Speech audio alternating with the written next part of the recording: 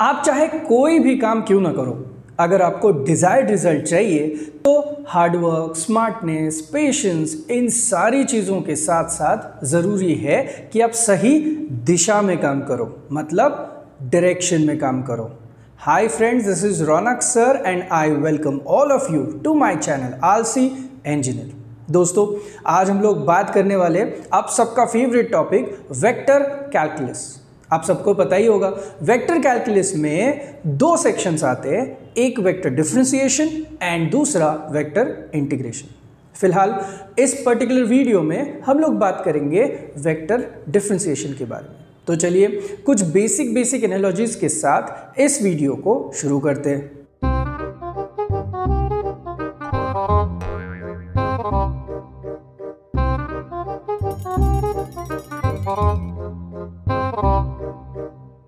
जैसे कि मैंने आपको कहा कि वेक्टर कैलकुलस के दो टाइप्स है, वेक्टर डिफ्रेंसिएशन वेक्टर इंटीग्रेशन, और आज हम लोग देखने वाले हैं वेक्टर डिफ्रेंसिएशन को। अब ये सारे डिस्कशन में जो सबसे बड़ा प्लेयर है, हमें उसके बारे में काफ़ी जानकारी होना ज़रूरी है। अब जब आप स्कूल में थे, तब आपने वेक्टर्स के बारे में काफ़ी सारी चीज़ें ऑलरेडी सीखी होगी। दो लोग होते हैं एक होता है स्केलर, दूसरा होता है वेक्टर तो वेक्टर की कुछ डेफिनेशन भी होगी। कुछ याद है आपको? तो चलिए ना, हम लोग जाते हैं step by step I have point A and point B जिनको मैंने ज्वाइन किया हुआ है और मैंने कहीं पे डायरेक्शन दी है। तो देखो, एक वेक्टर की बेसिक डेफिनेशन जो हम लोगों ने देखी हुई है, काफ़ी बार सुनी हुई है। Any physical quantity any physical quantity which has magnitude and direction correct है ना? तो मैग्नीट्यूड के साथ साथ जिसको डायरेक्शन भी है, उस फ़िज़िकल क्वांटिटी को बोला जाता है वेक्टर तो for example point A point B को ज्वाइन करने के बाद मैंने डायरेक्शन दी है एरो दिया हुआ, इसका मतलब है मेरे पास डायरेक्शन है. अब देखो, इसको अगर मुझे लिखना है तो मैं क्लियरली लिख सकता हूँ भाई A B bar A B bar a vector को रिप्रेजेंट करने के लिए हम लोग ए बी बार यूज़ कर रहे बार यूज़ कर रहे अब कोई भी वेक्टर रिप्रेजेंट किया जाता है, जैसे कि डेफिनेशन में बोला है, उसकी मैग्नीट्यूड और उसकी डायरेक्शन अब देखो, ये जो आपको मॉड वाला सिंबल दिखाई दे रहा है, वो वैल्यू जो होती है, वो आपको मैग्नीट्यूड दिलाती है। और आपको यहाँ पे एक सिंबल दिख रहा है कैप वाला, वो होता है यूनिट वेक्टर जो कि इस पर्टिकुलर वेक्टर की क्या डिनोट कर रहा है? डायरेक्शन तो हमेशा याद करो, अगर आपको डायरेक्शन को डिनोट करना है तो आप लोग यूज़ करोगे यूनिट वेक्टर को। मैं आता हूँ इसके ऊपर। फ़िलहाल तो मैग्नीट्यूड मुझे मिल गई और डायरेक्शन के बारे में भी मुझे पता चल गया। अब प्रॉब्लम ये कि ये क्वांटिटीज किस तरीके से फाइंड की जाए। एक काम करते ना, इस कैलकुलेशन के हिसाब से मैं ए बी कैप को पहले लिख लेता हूँ right A B cap can be written as A B bar होगा और यहाँ पे मॉड ऑफ़ कितना होगा दोस्त? ए बी बार होगा। इसका मतलब है कि आपको कोई भी यूनिट वेक्टर अगर फाइंड करना है, जो कि सिर्फ़ और सिर्फ़ डायरेक्शन के लिए यूज़ किया जाता है। और तो और, नाम भी कितना सही है देखो। यूनिट का मतलब है वन ऐसा वेक्टर जिसकी खुद की मैग्नीट्यूड कितनी है? वन तो वो भाई सिर्फ़ और सिर्फ़ डायरेक्शन दिखाने का काम करेगा। यूनिट वेक्टर को हम लोग लिख सकते हैं आपका वेक्टर अपॉन मैग्नीट्यूड ऑफ़ जो भी आपका वेक्टर है वो। सो यूनिट वेक्टर के बारे में हमें पता होना चाहिए और सिंबॉलिक रिप्रेजेंटेशन जैसे कि मैंने बोला, आप उसको कैप सिंबल से डिनोट कर सकते हो। अब ये हुआ वेक्टर के बारे में बेसिक्स अब टू डायमेंशंस और थ्री डायमेंशंस के बारे में हम लोग बात करते हैं। जब आप 2D की बात करते हो दोस्तों तो आपको पता है कि this is considered as X axis and this one is nothing but Y axis और टू डायमेंशन में चीज़ें काफ़ी आसान है आपको, आपके लिए कैलकुलेशंस के लिए। लेकिन when it comes to three dimensions ये है आपका तीसरा डायमेंशन अब क्या आपको पता है? एक्स वाई जेड यहाँ पे किस तरीके से डिनोट किए गए हैं? दूसरी चीज़, इसी के साथ साथ ये जो है, ये कहाँ पे जा रहा है? मैं आपको दो स्ट्रक्चर्स दिखाता हूँ। देखो आपके दिमाग में आ रहा है कि नहीं। If you look at this ये देख रहे हो आप लोग। If you look at this can I say that यहाँ पे ये जो तीनों मार्कर्स है they are mutually perpendicular to each other correct है? अब इशू ऐसा है, आप इसको फ्रंट व्यू से जब आप देखोगे तो ये वाला ब्लू कलर का जो मार्कर है, वो आपको एज इन क्या दिखाई देगा? पॉइंट दिखाई देगा। तो जस्ट टू मेक श्योर कि यहाँ पे भी एक आपका कोई डायमेंशन है, इसको हम लोगों ने इस टू बोर्ड पे थोड़ा सा क्रॉस करके दिखाया हुआ है right meanwhile just try understand कि all these three markers are mutually perpendicular to each other so तीनों डायमेंशंस में, देखो अभी नोटेशंस में बताता हूँ।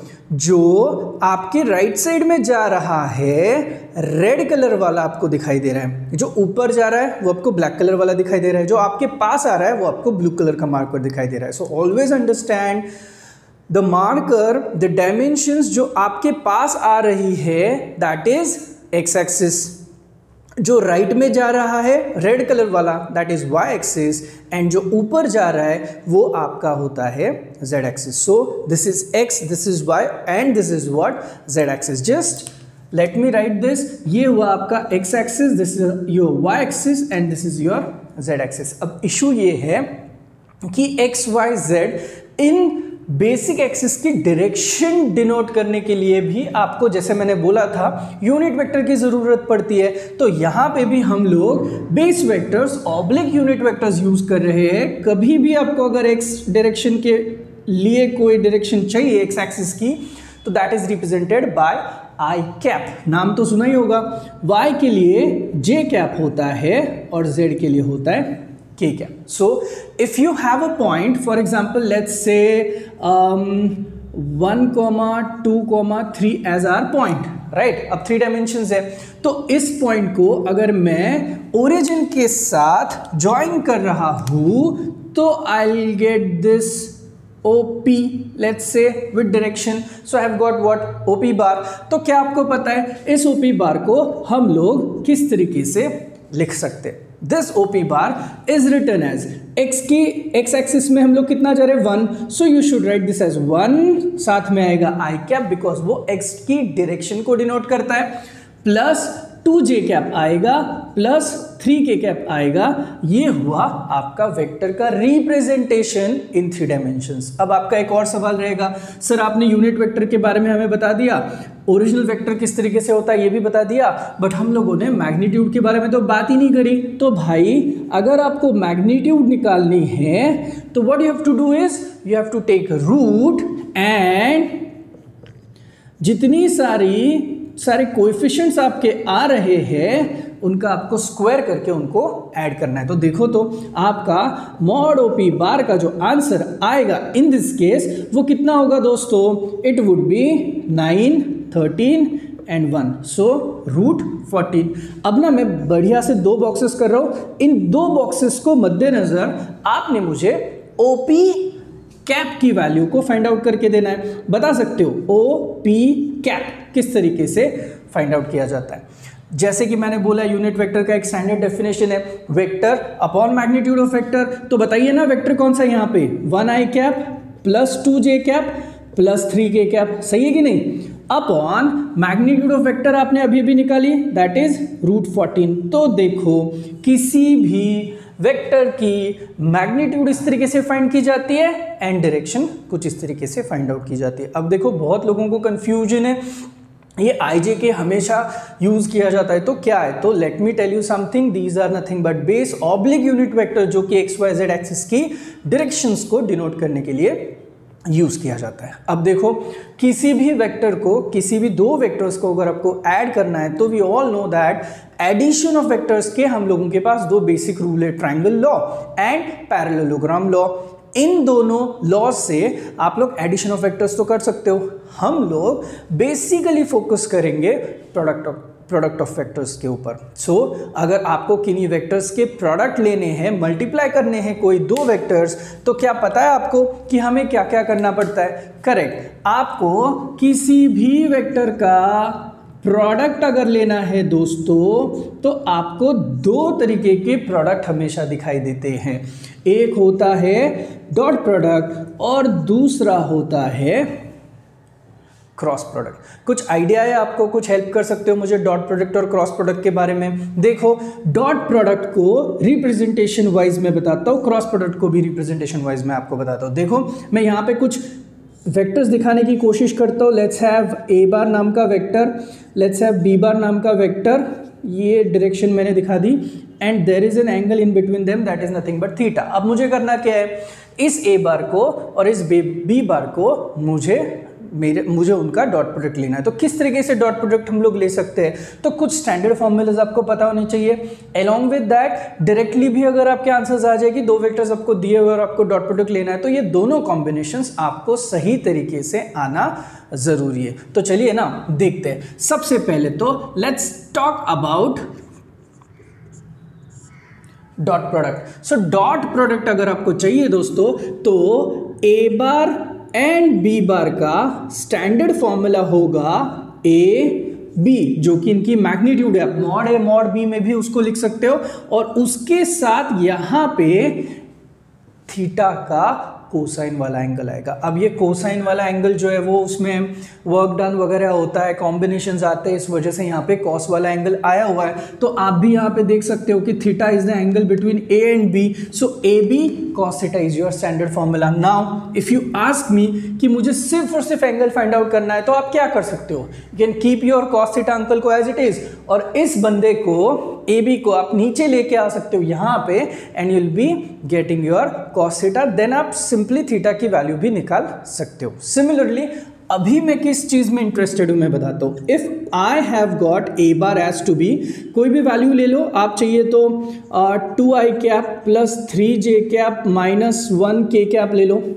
आई हैव बी बार नाम का vector that is again i cap plus two j cap plus three k cap ले लेते हैं। हम्म? अब मुझे बताइए, ये दो वेक्टर्स जिनके आपके पास ऑलरेडी नोटेशन है, और मुझे अगर बोला गया है कि इन दो वेक्टर्स का डॉट प्रोडक्ट लेना है तो हम लोग किस तरीके से ले सकते हैं? देखो I write a bar that is two i cap plus three j cap minus k cap का dot product with what i cap plus two j cap, plus three k cap के साथ। अब मुझे बताइए, एक वेक्टर का दूसरे product के साथ डॉट प्रोडक्ट लेना है तो हम लोग किस तरीके से लें? देखो, बहुत बढ़िया सी ट्रिक है।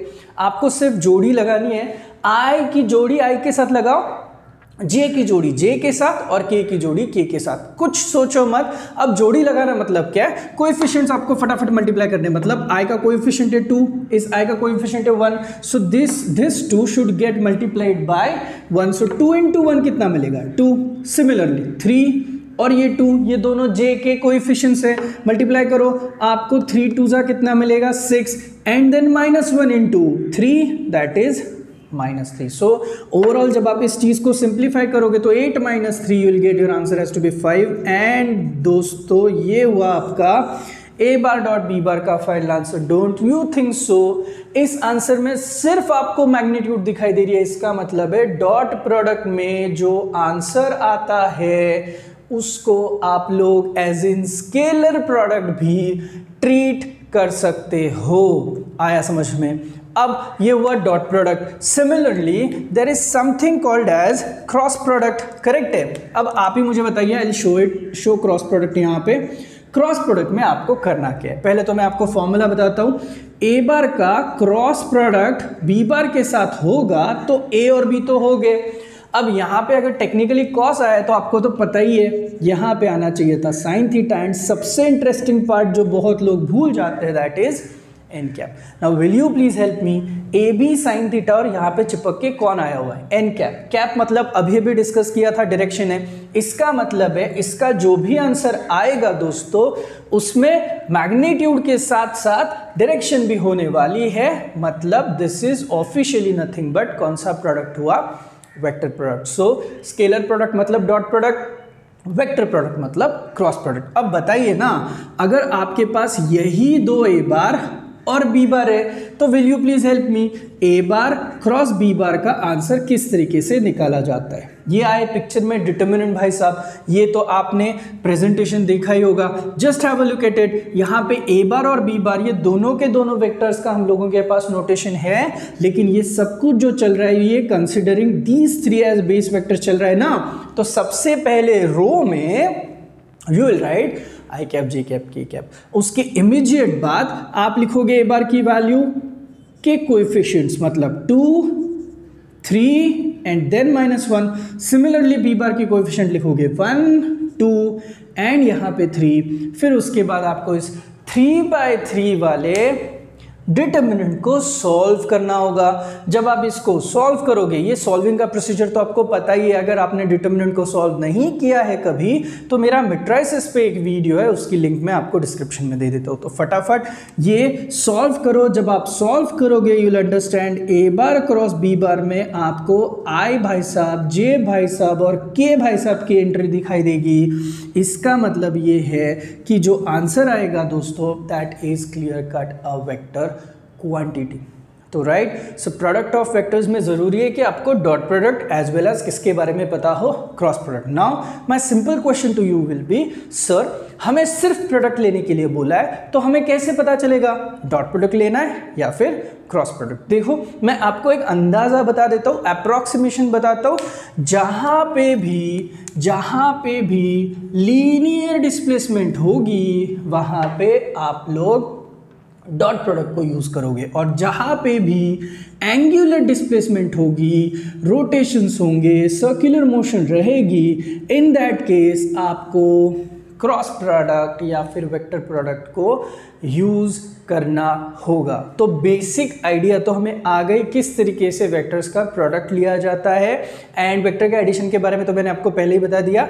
अब अगर इतना बेसिक हम लोगों के पास है तो क्यों ना अब हम लोग शुरू करें वेक्टर के साथ जो यहाँ पे चिपक के आई हुई है term that is nothing but differentiation तो चलिए देखते हैं अब वेक्टर डिफरेंशिएशन में इन लोगों को हम लोग किस तरीके से एफिशिएंटली यूज़ कर सकते हैं।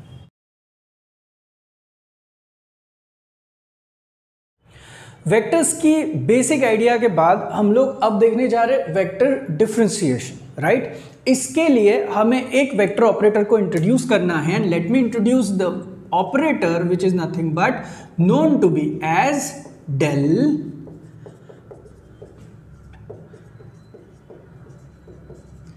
और ये जो डेल है, इस डेल का एक स्पेसिफिक फॉर्मूला है डेबा बाय डेबा एक्स आई कैप डेबा बाय डेबा वाई जे कैप प्लस डेबा by डेबा z k cap hold on मुझे पता है, मैंने जो भी बोला, आपको शायद हँसी आ रही होगी। डैबा यस आप ये जो यहाँ पे देख रहे हो ना, ये सिंबल ये ना डेरिवेटिव ही है बट हम लोग हमेशा जो डेरिवेटिव करते हैं, वो डी बाई डी एक्स वाला डेरिवेटिव होता है। यहाँ पे जो डेरिवेटिव यूज़ किया गया है दैट इज़ पार्शियल डेरिवेटिव मतलब इसको, ये सिर्फ़ विद रिस्पेक्ट टू एक्स करेगा, इसको y और z, बाकी सारी चीज़ें ये कॉन्स्टेंट ट्रीट करेगा। सिमिलरली x और z के लिए ये कॉन्स्टेंट ट्रीट होगा और x और y के लिए ये कॉन्स्टेंट ट्रीट होगा। तो इसको आप डो बाय डो एक्स डो बाय डो वाई भी बोल सकते हो या फिर डाबा। I choose to call this as to be डैबा आप चाहे जिस नाम से उसको बुलाओ। कुछ लोग इसको डेल भी बोलते हैं। सो so, फ़िलहाल तो मेरे पास डैबा बाय डैबा एक्स आई कैप डैबा बाय डैबा वाई जे कैप डैबा बाय डैबा जेड के कैप एक अच्छा पॉइंट जो है वो आप नोट कर सकते हो there is i cap j cap k cap मतलब सिंपली ये वेक्टर ऑपरेटर हो सकता है। देखो अब हम लोग दो तीन चीज़ों के ऊपर काम करेंगे। सबसे पहली चीज़ फॉर एनी स्केलर क्वांटिटी जिसको हम लोग कंसिडर करेंगे फाइव फॉर एनी स्केलर कोई भी स्केलर अगर हम लोगों को दिया हुआ है and if we are asked to find देखो क्या किया मैंने डेल और फाइव को मैं डायरेक्टली मल्टीप्लाई कर रहा हूँ तो डेल फाइव अगर मुझे निकालना है तो मेरा आंसर क्या आएगा? देखो तो सही, ये डेल का आंसर है डेबा बाय डेबा एक्स आई कैप प्लस डेबा बाय डेबा वाई जे कैप प्लस डेबा बाय डेबा जेड के कैप को हम लोग फाइव से मल्टीप्लाई कर रहे हैं। तो मेरा आंसर फाइनली यहाँ पे आएगा डैबा फाइव बाय डैबा एक्स आई कैप डैबा five by डैबा y j cap and then डैबा five by डैबा जेड और यहाँ पे आ जाएगा के कैप ये रहा मेरा डेल्फाई का आंसर मैं थोड़ी देर में इनके क्या नाम है, किस तरीके से वर्कआउट होता है, ये सब कुछ आपको डिटेल में बता दूँगा। So for any scalar five का हम लोगों का कैलकुलेशन तो भाई सही बैठ गया है। अब देखते हैं for any vector से एफ़ बार लेते हैं हम लोग force vector f one i cap plus f two j cap plus f three k cap वाले वेक्टर को लेते हैं और देखते हैं कि हमारी कौन सी कौन सी क्वांटिटी अब हम लोग फाइंड आउट कर सकते हैं।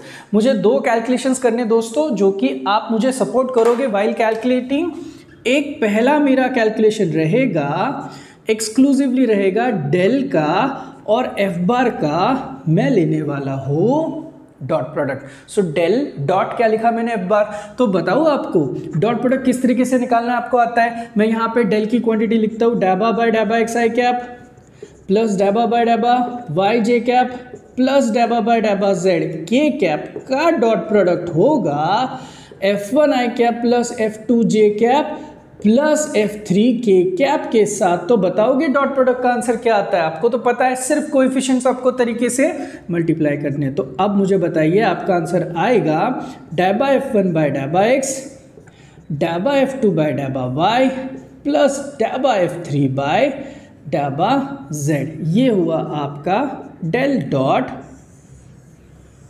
एफ़ बार का आंसर मैं आता हूँ इन सारे लोगों के डिटेलिंग पे मैं आने वाला हूँ। अब similarly for any vector f bar मुझे एक और कैलकुलेशन करना है तो मैं देखो थोड़ा सा पोजीशनिंग ले लेता हूँ। For any vector f bar मैं जा रहा हूँ फाइंड आउट करने के लिए। देख सकते हो आप लोग? टेल क्रॉस एफ़ बार को तो आपको तो पता ही है, मैं यहाँ पे i cap j cap k cap लिखने वाला हूँ। डेल के नोटेशंस आपको पता है, डाबा बाय डाबा एक्स आएगा, डाबा बाय डाबा वाई आएगा, डाबा बाय डाबा जेड आएगा और एफ़ बार के नोटेशंस आएँगे f one f two and f three इसको सॉल्व करके जो भी आएगा, वो मेरा फाइनल आंसर आएगा। तो देखो, हम लोगों ने डेल ऑपरेटर को लिया हुआ है और तीन कॉम्बिनेशन किए। पहला स्केलर के लिए किया डेल्फाई दूसरा, हम लोगों ने लिया डॉट प्रोडक्ट एफ़ बार के लिए so del dot f bar और तीसरा, मैंने लिया cross product that is del cross f bar तो अब देखिए दोस्तों, इन सारे लोगों को स्पेसिफिक नाम है। ये जो आपने अभी अभी डेल्फाई किया था that is known to be as special नाम है उसके लिए this is nothing but gradient तो आपने अभी अभी यहाँ पे जब आप डेल्फाई करते हो तो आपने ग्रेडियंट फाइंड किया हुआ है।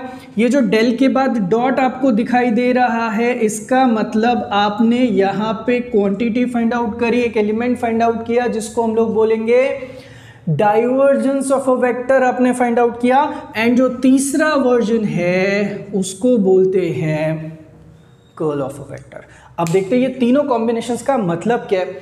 ग्रेडियंट का मतलब है slope rate of change in a quantity in a scalar quantity क्या आती है, ये हमें बताता है ग्रेडियंट सो ग्रेडियंट के लिए आपको डेल फाइ करना होगा स्केलर पे ऑपरेट होगा। उसके बाद देखते हैं डाइवर्जेंस डाइवर्जेंस का मतलब है नेट आउटफ्लो या फिर इनफ्लो, जो भी है। तो देखो नेट आउटफ्लो जब आप करते हो तो डाइवर्जेंस सो पॉजिटिव डाइवर्जेंस भी हो सकता है, या फिर नेगेटिव सो जब भी कभी डाइवर्जेंस निकालना है तो आप लोग लोगे किसी भी वेक्टर का डॉट प्रोडक्ट किसके साथ? डेल के साथ। So dot product means divergence and सबसे इंपॉर्टेंट चीज़ डाइवर्जेंस का जो आंसर है that is always a scalar quantity as we all know कि डॉट प्रोडक्ट जो होता है, वो हमेशा स्केलर होता है। एंड देन ये तो नाम से ही पता चलता है, हम लोग बोलते हैं ना कर्ली हेयर राइट तो कर्ली मतलब जहाँ पे भी रोटेशनल मोशन आएगी तो उस सर्कुलर मोशन के लिए हम लोग जो वेलोसिटी कैलकुलेशंस रहते हैं, ये सारे कैलकुलेशंस हम लोग कर्ल को फाइंड आउट करके निकाल सकते हैं। So there are three quantities gradient divergence and क्या लिखा है मैंने यहाँ पे? कर्ल अब लोगों का ये सवाल है कि, सर, डेल तो हमें पता है बट कब पता चलेगा? डॉट मतलब डाइवर्जेंस होता है एंड ऑल एंड ऑल तो मैं आपको बताता हूँ कैसे याद रखना है राइट देखो, ये डेल और एफ़ बार के बीच में कौन है? डॉट है। Dot stand for d dot derivative, dot divergence so यहाँ पे डॉट का डी डाइवर्जेंस का डी सो so, जब भी कभी डॉट प्रोडक्ट होगा किसी वेक्टर के साथ तो यू विल अंडरस्टैंड कि यहाँ पे जो आएगा वो आपका डाइवर्जेंस आएगा। ये देखो ये क्या है भाई? ये क्रॉस प्रोडक्ट है करेक्ट तो क्रॉस मतलब सी एंड कर्ल मतलब भी सी तो क्रॉस प्रोडक्ट के लिए हमेशा कर्ल और ये देखो डेल और फाई के बीच में कोई भी नहीं है। ऐसे ही टाइम पास मतलब गैप है गैप तो गैप का जी एंड ग्रेडियंट का जी ये बस याद रखने के लिए।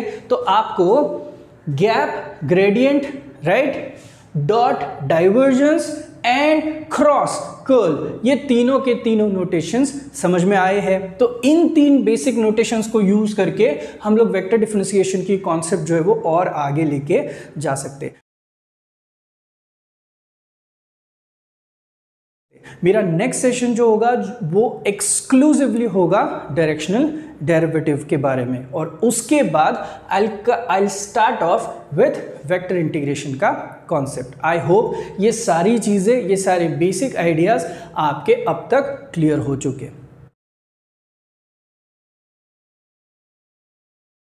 स्कूल का मैथमेटिक्स हो या फिर साइंस कॉमर्स आर्ट्स का मैथमेटिक्स एप्टीट्यूड के लिए लगने वाला मॉडर्न मैथमेटिक्स हो या फिर किसी भी कॉम्पिटेटिव एग्ज़ाम का मैथमेटिक्स इंजीनियरिंग वाला मैथ्स हो या फिर कोई भी हायर मैथमेटिक्स हो, अब ना रहेगा बास, ना बजेगी बांसुरी, क्योंकि हँसते, खेलते, गुनगुनाते हुए रौनक सर के साथ होगी मैथ्स की तैयारी। For more information you can call me on this number You can also subscribe my YouTube channel Alsi engineer as well as you can follow me on Facebook and Instagram. Press the bell icon on the YouTube app and never miss another update.